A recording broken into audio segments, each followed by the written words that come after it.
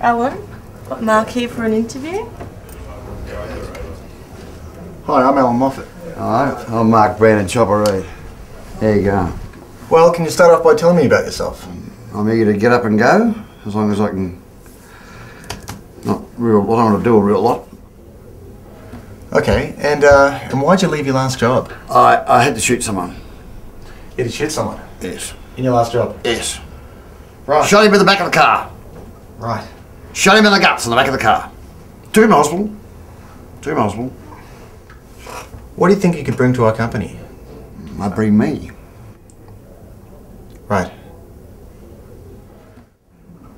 Peace of mind. Peace of mind. Peace of mind. You've hired me. Peace of mind. Yes. Delegating. Del- Okay. telling him to go and fuck him. Oh wow. Um. Okay, not in those words, of course. Or would you? No, no, No. not those. No, Okay, no. So you go and screw him. Okay, well, this is a customer service Customer service. position. I'm very good at serving customers. Really? If they got any complaints, they can come straight to fucking me. Okay. So get outside. Take your fucking complaints and get out fucking side.